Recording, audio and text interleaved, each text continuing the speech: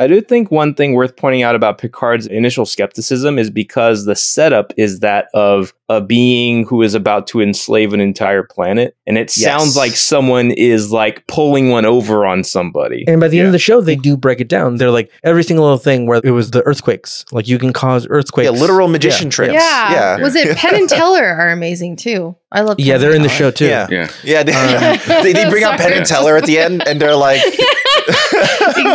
or the Magician Secrets Fox specials, where they would have the masked Yeah, those magician show. the mask magician. Yeah, Yeah, that yeah, guy yeah, fucks, yeah. dude.